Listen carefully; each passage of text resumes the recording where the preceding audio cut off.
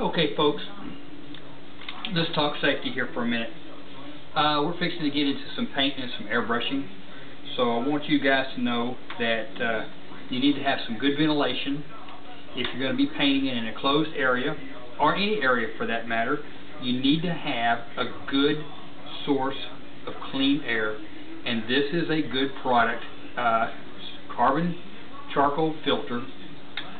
And uh, you need to wear one of these when you are working with any type of uh, air, airborne aerosol, any type of uh, product that you spray. Uh, do I use it all the time? No, I'm guilty of that. Um, I've been doing this for uh, 10, 15, 20 years, and um, I can tell you that I probably don't use it more than I do use it. And as a result, I do have some uh, respiratory problems, and uh, I say that it is due directly to me not using a good uh, respirator. Uh, you know, you tell yourself, oh, it's just one helmet, uh, it's just one tank, it's just one this, it's just one that.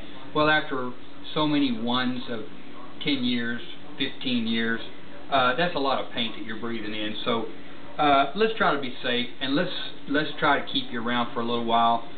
Um, so, not too much on this. Think smart, be smart, and uh, have proper ventilation and something a good uh, paint mask.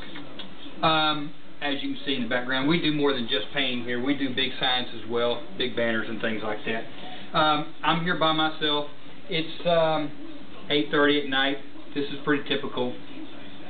Uh, I hang around and uh, do my paint work while nobody's here. Uh, usually till anywhere from 10, 12, 1 o'clock in the morning, sometimes later than that. So I don't have anybody helping me on the camera right now, so got it on a tripod. And what I'm going to do is I'm going to walk through here, and uh, we're going to go into the uh, into the warehouse and um, show you some stuff here. Um, this is my uh, paint gun. It is an Iwata HP100, I believe it is. Uh, LPH100, and I've had this gun for probably four, five, six years now, and it's a fantastic gun. Never had to rebuild it. It's a really good gun. The little top turns and moves so you can paint upside down and sideways and all kinds of stuff. Uh, this is the amount of paint I'm going to use. I can get a lot with this paint. Uh, whenever I paint, I paint dry. And a lot of people don't quite understand that, but I paint dry. I have friends in the paint business who uh, paint wet. Stuff is dripping and running off, and they use a gallon of paint where I use uh, just small amounts. And they just don't understand uh, why I can do what I do with such little paint. Well, it's, I think it's because I paint dry and I make sure I get the paint where I want it to go. Um, what I'm going to do here, to show you some areas here that you need to be careful about. If you put your blue line tape on and you let it set overnight, which this is why I like to stay late and paint because I've worked all day putting my blue line on and taping it off. If I come in in the morning, sometimes in these little areas right here, uh, the paint will actually shrink up, or the tape will shrink up, and it'll leave a little small gum adhesive right here. And if you're not pinstriping your work, uh, what happens is that that sticky gooey tape adhesive uh, as this has shrunk up um, will actually become a mask as well but it's a real cruddy mask. And when you paint and you wipe it all off and clean it up then you've got a bunch of uh, breaks and tears and different things. It just doesn't look very professional. So uh, beware of that.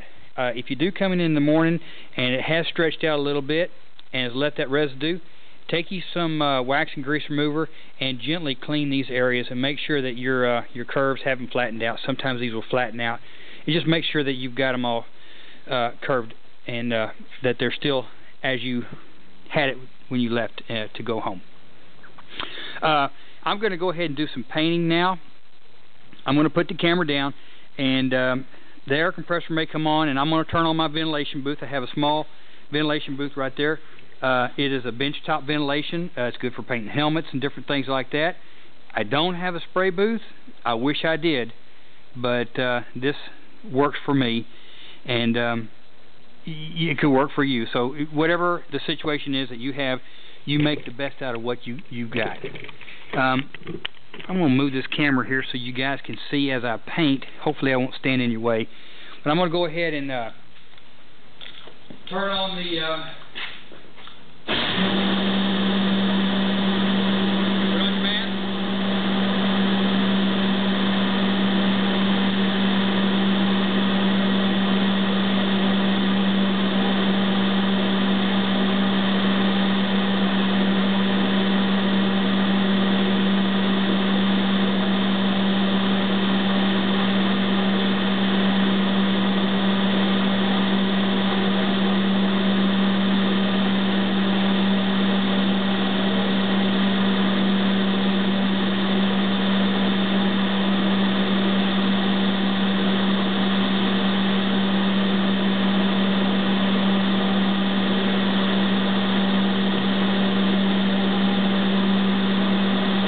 extra parts laying around the shop, and if you don't be careful, I'm using silver paint right now.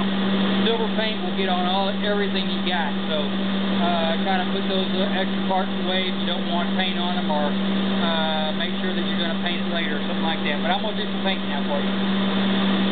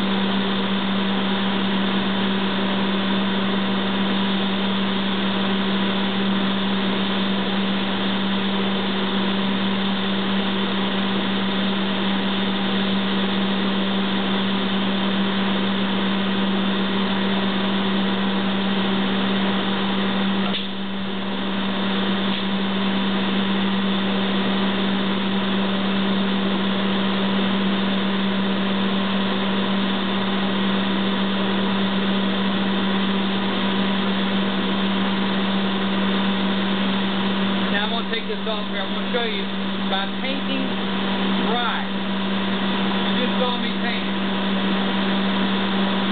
Already dry. Already dry, and now I can start my airbrush that quick. Uh, probably let it dry for a little bit, maybe five or ten minutes, just to be on the safe side. But that paint is dry. You'll have to wait an hour and a half. It's not sticky gooey. I can put tape on it, not get fingerprints and stuff like that. That is one of the benefits of painting dry.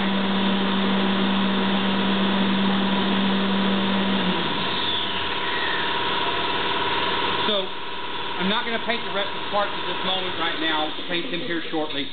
But I want you to see how we do this, how I paint. I shouldn't have my mask off because the paint, the room is full of air, uh, paint. And um, uh, hopefully uh, this has been helpful for you.